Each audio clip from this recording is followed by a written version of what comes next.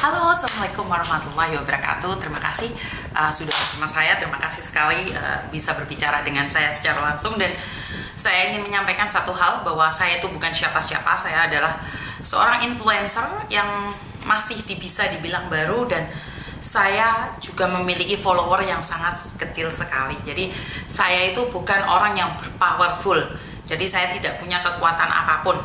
Jadi saya cuma punya netizen yang anti skip dan badan dan badan intelijen netizen. Jadi kalau Anda menanyakan siapakah si Yuni itu, Yuni itu bukan siapa-siapa dan sering kali pandangan yang salah terhadap saya bahwa saya itu seolah-olah bisa menyelesaikan segala masalah. Jadi sekali lagi ini yang salah ya. Mungkin Anda bisa melihat video-video saya bahwa saya bisa membantu orang. Tapi kan tidak semua kasus saya bisa membantu. Ada kalanya saya juga marah karena tidak masuk di logika saya dan banyak juga orang yang menganggap saya itu bisa semuanya. Nah, ini yang salah teman-teman. Ini saya tidak ingin uh, kalian membawa atau mempengaruhi diri sendiri bahwa seolah saya tuh bisa menyelesaikan semua masalah semua masalah kalian.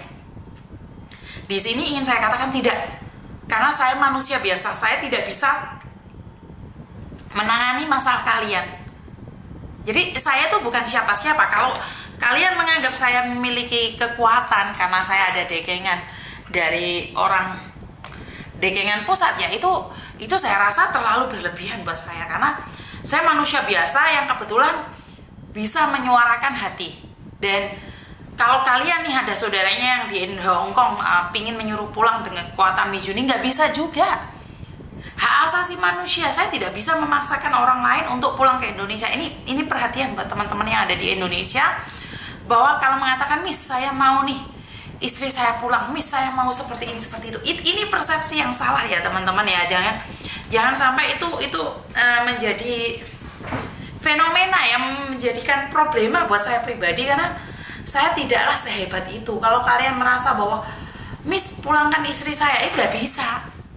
Jadi Miss Yuni itu tidak bisa memulangkan seseorang. Dan uh, juga bahwa saya itu selalu katakan diri saya adalah bumper yang terakhir. Jadi jangan mengharapkan bahwa saya tuh mengetahui segala masalah. Jadi saya harus memahami diri saya. Kalau yang bisa ya saya bantu kalau nggak bisa ya nggak bisa juga mbak saya tuh tidak bisa menyenangkan semua orang. Banyak hal yang saya tidak ketahui dan banyak sekali di luar sana masalah yang tidak bisa saya tangani. Jadi kenapa saya selalu bilang uh, Miss Yuni selalu promosi Koko Thomas? Ya iya, anak saya sendiri masa iya nggak saya promosiin? Dia sekarang sudah nggak bekerja di Wampo lagi. Dia uh, membuka usahanya sendiri ya terserah dia karena dia berhak untuk hidup dan dia berhak juga untuk menolong orang dengan cara dia. Ya hari ini dia berbisnis. Siapa tahu suatu saat nih kalau dia merasa sudah sama seperti saya dia punya gerakan yang di mana mau membantu pekerja migran Indonesia. Karena mboknya juga dari Indonesia. Ini saya nggak tahu. Jadi buat teman-teman jangan punya harapan terlalu tinggi pada saya karena sekali lagi saya bukan siapa-siapa. Saya cuma influencer dengan follower yang sedikit dan uh, uh, pengikutnya sedikit, saya cuma ingin bermanfaat saja, tapi jangan terlalu high expectation, expectation, guys. Jangan terlalu menaruh harapan terlalu tinggi pada saya, karena saya juga manusia biasa. Itu pesan saya. Jadi terima kasih. Wassalamualaikum warahmatullahi wabarakatuh.